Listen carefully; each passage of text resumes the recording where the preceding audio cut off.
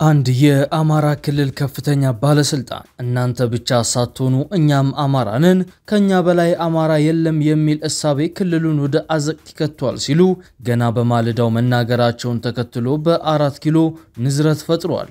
ባለስልጣኑ ይህን በተናገሩበት ወቅት ከወደ ደብረ ታቦር አዲስ መረጃ ተሰምቷል። የተደራጀ ጦር ወደ ከተማው መግባቱንም የጀርመን ድምፅ ነዋሪዎችን ዋቢ አድርጎ ዘግቧል። ይህ በእንዲህ እንዳለ በደብረ ብርሃን ከተማ ባለስልጣናት እየታደኑ ሲሆን እስካሁን አራት የሚደርሱ ባለስልጣናት በአስቸኳይ እዝ መምሪያው መታሰራቸውን የሚገልጽ መረጃ ተሰምቷል። በርካታ ወጣቶች፣ ታዋቂ ሰዎችና ባለሀብቶችም በከተማው እየታደኑ ስለመሆኑ አንድ ጥብቅ መረጃ ወጥቷል። በሌላ በኩል ወደ ኦሮሚያ ክልል ዘልቆ ገብቷል የተባለው ፋኖ በከፍተኛ አመራሩ በኩል ምላሽ ሰጥቷል። አንድ የፋኖ አመራር ለአሜሪካ ድምፅ በሰጡት ምላሽ የፋኖ ታጣቂዎች ወደ ኦሮሚያ ክልል አልገቡም፣ ሆኖም የተከፈተብንን ተኩስ ለመመከት በኦሮሚያ ክልል ውስጥ ውጊያ አድርገናል ሲሉም አምነዋል። እነዚህና ሌሎች መረጃዎች በጥንቅራችን ተካተዋል።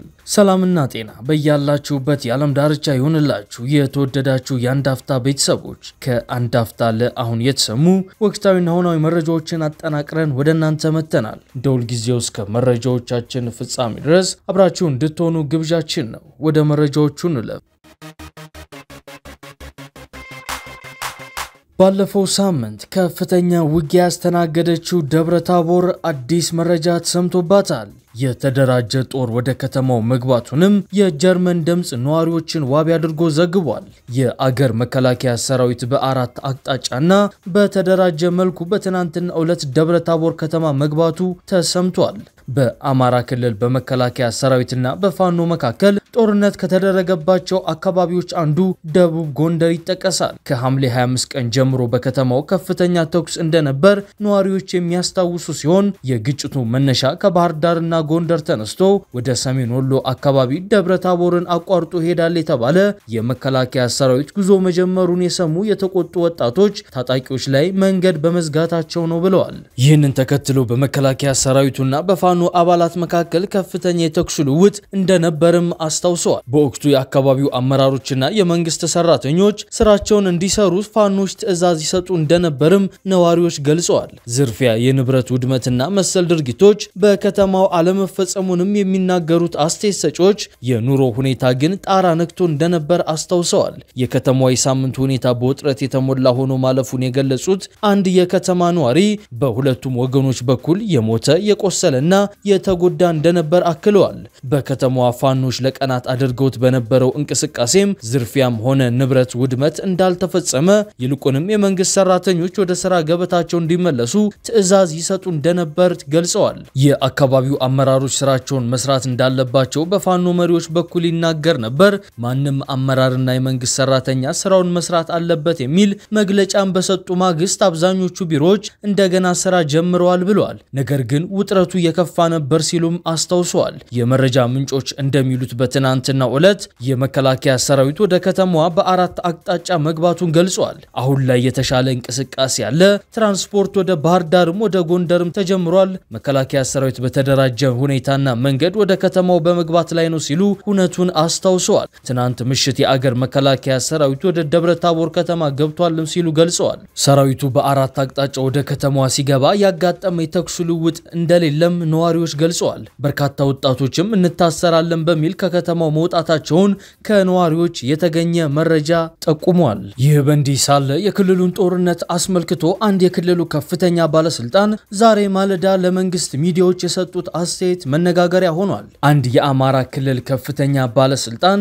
እናንተ ብቻ ሳትሆኑ እኛም አማራ ነን፣ ከኛ በላይ አማራ የለም የሚል እሳቤ ክልሉን ወደ አዘቅት ይከቷል ሲሉ በማለዳው ተናግረዋል። የባህር ዳር ከተማ ከንቲባ ተቀዳሚ ምክትል ከንቲባ ዶክተር ድረስ ሳህሉ ከሰሞኑ በባህር ዳር ነዋሪዎችን ሰብስበው በሰጡት አስተያየት እናንተ ብቻ አይደላችሁም እኛም አማራ ነን ሲሉ ተደምጠዋል። የአማራ ሕዝብ እኛም የምንበሳጭባቸው ብዙ ጥያቄዎች አሉት። እኛም አማራ ነን፣ የህዝባችን ጥያቄ ይገባናል። ሆኖም ጥያቄዎቹ የሚፈቱበት አግባብ በምን መልኩ ይሁን የሚለው ላይ መስማማት ይኖርብናል ሲሉ ተናግረዋል። በተመሳሳይ የጎንደር ከተማ ተቀዳሚ ምክትል ከንቲባ አቶ ባዩ አቡሃይ በበኩላቸው የአማራ ሕዝብ ጥያቄ እስኪመለስ በጋራ መቆም አለብን፣ ውስጣዊ አንድነታችን ደህንነታችንንም መጠበቅ ይኖርብናል ሲሉ ተደምጠዋል። ወደ ቀጣው መረጃችን ስንሻገር በደብረ ብርሃን ከተማ ከፍተኛ ባለስልጣናት እየታሰሩ ነው። በደብረ ብርሃን ከተማ ባለስልጣናት እየታደኑ ሲሆን እስካሁን አራት የሚደርሱ ባለስልጣናት በአስቸኳይ እዝ መምሪያው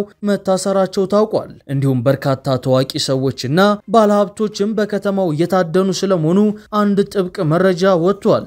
በደብረ ብርሃን ከተማ በርካታ ሰዎች እየታሰሩ መሆኑን የሚገልጽ መረጃው እየወጣ ነው። ከግለሰቦች በተጨማሪ ከፍተኛ የዞን አመራሮች እየታሰሩ መሆኑ ተሰምቷል። ይህን ተከትሎ እስካሁን ባለው መረጃ አራት የከተማው የመንግስት ባለስልጣናት የታሰሩ ሲሆን የከንቲባ ጽህፈት ቤት ኃላፊው ጸጋዬ በየነ፣ የከተማው መሬት አስተዳደር ኃላፊ እናት አለም አምታቱ እንዲሁም የከተማው ስራ አስኪያጅ አቶ ኃይለማርያም በቁጥጥር ስር ውለዋል ተብሏል። ከዚህ ባለፈም በከተማ ውስጥ ያሉ ታዋቂ ሰዎችና ባለሀብቶች እየታደኑ ነው።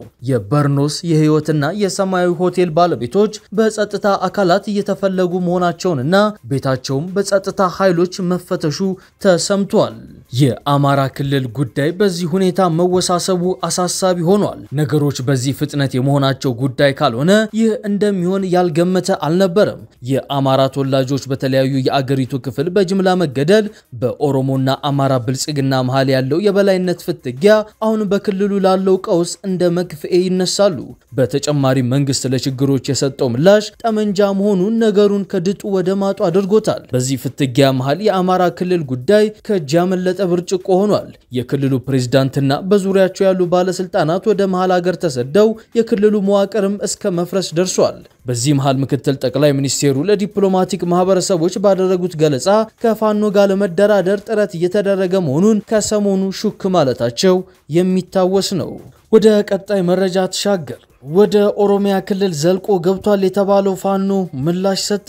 አንድ የፋኖ ከፍተኛ አመራር ለአሜሪካ ድምፅ በሰጡት ምላሽ የፋኖ ታጣቂዎች ወደ ኦሮሚያ ክልል አልገቡም፣ ሆኖም የተከፈተውን ተኩስ ለመመከት በኦሮሚያ ክልል ውስጥ ውጊያ አድርገናል ሲሉም አምነዋል። የፋኖ ታጣቂዎች ወደ ኦሮሚያ ክልል ገብተው ፈጽመዋል የተባለውን ጥቃት አስተባብለዋል። በአማራ ክልል የሚንቀሳቀሱት የፋኖ ታጣቂዎች ሰሞኑን በኦሮሚያ ክልል ሰሜን ሸዋ ዞን መንዲዳ ከተማ ገብተው ጥቃት እንደፈጸሙ የአካባቢው ነዋሪዎችን ዋቢ በማድረግ የአሜሪካ ድምፅ መዘገቡ ይታወቃል። በመንዲዳ ከተማ በፋኖ ታጣቂዎችና በክልሉ የጸጥታ አካላት መካከል በነበረው ግጭት ከኦሮሚያ ክልል በኩል ሶስት ሰዎች እንዲሁም ስምንት የፋኖ ታጣቂዎች እንደተገደሉ አንድ የአይን እማኝና የወረዳው ባለስልጣናት በወቅቱ ተናግረው ነበር። ለዚህ ክስ የፋኖ ታጣቂዎች በትናንትናው ዕለት ለአሜሪካ ድምፅ በሰጡት ምላሽ በወቅቱ ወደ ደብረ ብርሃን እየተንቀሳቀስን እያለን ለተፈጸመብን ጥቃት ነው የአጸፋ ምላሽ የሰጠኑ ብለዋል። በግጭቱ በሰላማዊ ሰዎች ላይ ጥቃት እንዳልፈጸሙም ገልጸዋል። በስፍራው ከተካሄደው ግጭት በኋላ በአቡቹና ኒአ ወረዳ የሚኖሩ የአማራ ተወላጆች በማንነታቸው ብቻ ለእስር እየተዳረጉ እንደሚገኙም የፋኖ ታጣቂዎቹ አመላክተዋል።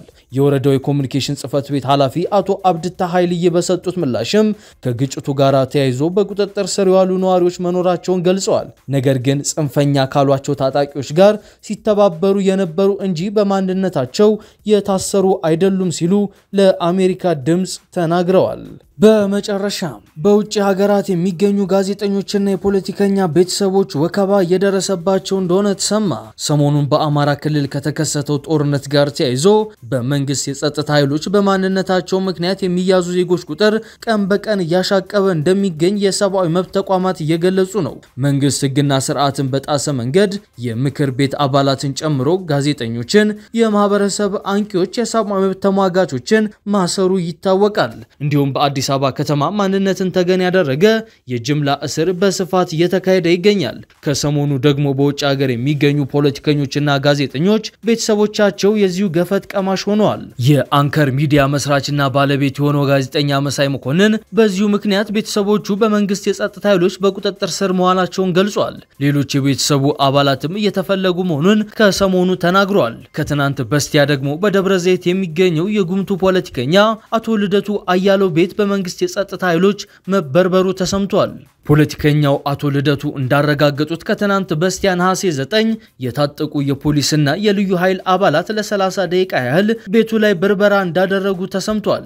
ሆኖም ምንም ነገር ሳያገኙ መመለሳቸውን አቶ ልደቱ ለሮሃ ሚዲያ አረጋግጠዋል። በተመሳሳይ ጋዜጠኛ ይድነቃቸው ከበደ በዛሬው ዕለት በቁጥጥር ስር መዋሉ ተሰምቷል። ጋዜጠኛ ይድነቃቸው ከበደ ዛሬ ነሐሴ 11 ከጠዋቱ ሁለት ሰዓት አካባቢ ከመኖሪያ ቤቱ ሲቪል በለበሱ ፖሊሶች መወሰዱን እና በአሁኑ ሰዓት በአራተኛ ፖሊስ ጣቢያ እንደሚገኝም ተዘግቧል። የተወደዳችሁ የአንድ አፍታ ቤተሰቦች ከአንድ አፍታ ለአሁን የያዝናቸው መረጃዎቻችን እነዚህን ይመስሉ ነበር። ሰናይ ቆይታ